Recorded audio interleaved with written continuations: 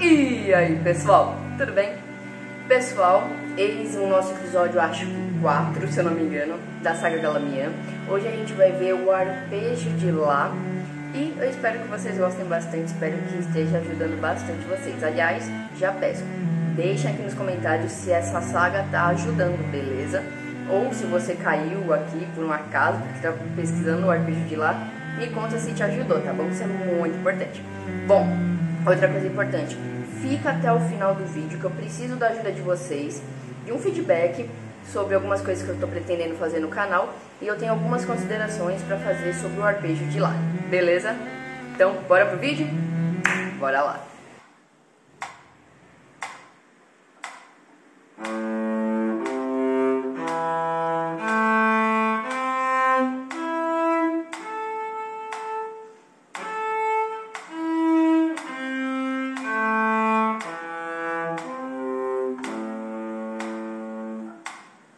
Bom, pessoal, como vocês viram, não tem nada demais, é bem tranquilo de fazer, mas temos algumas observações. No caso, o galamian, eu fiz esse dedilhado aqui, eu vou tentar colocar aqui, né? eu fiz o dedilhado de baixo, se eu não me engano, porque assim, quando eu toquei esse vídeo, eu já nem lembro qual foi o dedilhado, porque eu tava sem partitura, mas se eu não me engano é o de baixo, beleza? Bom, Nesse dedilhado, ele pega o Dó, em vez de estar com o segundo dedo na, né, na corda lá, lembrando, Dó, segundo dedo, com o primeiro dedo. E isso é muito importante, por quê? Porque assim, a gente está acostumado e muito provavelmente você já toca bem legal a primeira posição. Só que aqui a gente tem uma mudança de posição. E o que, que é o detalhe? Qual que é o pulo do gato? O seu dó com o primeiro dedo na corda lá, nesse arpejo, com esse dedilhado, nesse método Ivan Lamian, tem que estar tá tão bem afinado quanto o seu dó do segundo dedo da primeira posição. Isso é muito importante. Aliás, justo por isso, ele faz esse dedilhado.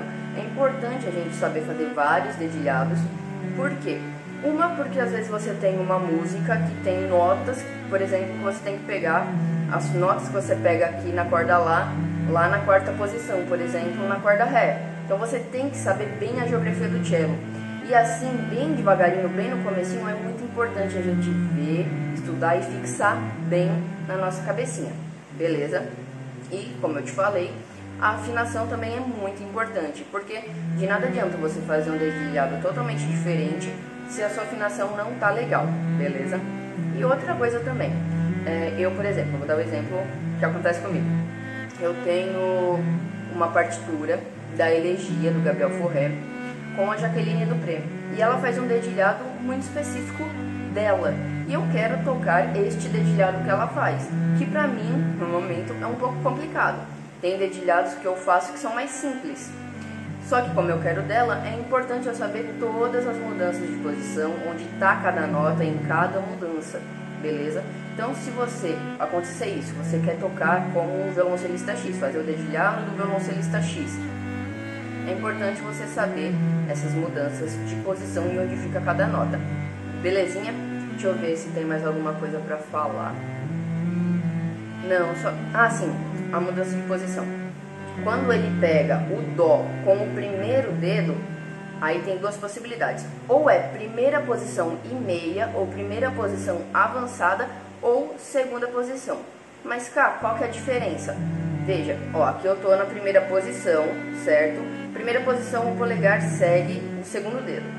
Se eu pegar a nota Dó, certo? Com o primeiro dedo, assim, ó, ou seja, o polegar tá na direção do primeiro dedo, Aí é primeira posição em meia ou é, primeira avançada. Agora, se eu fizer isso aqui, ó, meu polegar está na direção do segundo dedo, mas o meu dedo tá lá na nota Dó, aí é segunda posição. Então, em resumo, se o seu polegar estiver na direção do primeiro dedo, primeira posição, e meia ou primeira posição avançada. Se ele seguir o segundo dedo, Aí é segunda posição. Beleza? Isso é importante vocês saberem. Bom, agora o que eu preciso muito da opinião de vocês. Eu quero aumentar o conteúdo de técnica aqui do canal. E estou pensando em usar dois métodos. O Pozzoli e o Suzuki. Por quê? O Pozzoli ele é muito importante para ritmo, ajuda demais. E assim, na internet você tem pessoas solfejando Pozzoli. Eu queria fazer com o violoncelo as séries rítmicas. Me contem aqui se vocês acham legal aqui nos comentários. E por que o Suzuki? É, muito embora eu não seja professora habilitada pelo método Suzuki, se você não sabia, para você ensinar, para você dar aula pelo método Suzuki, o ideal é que você faça um curso de capacitação para esse método, beleza? Eu não tenho, porém, a minha base de cello, boa parte da minha base de cello, foi com o Suzuki. Eu aprendi muita coisa com o Suzuki, por mais que tenha alguns outros métodos que puxem mais a técnica e puxem de uma maneira um pouco mais lenta. O Suzuki, né, ele já traz mudança de posição um pouco mais rápido. Moto.